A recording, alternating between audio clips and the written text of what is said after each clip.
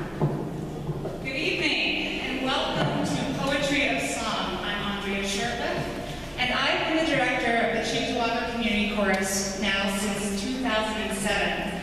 And for the past eight seasons, I've talked to the singers about just how lucky we are to have words, text that we can use to pair with the music to get across the composer's idea of what he or she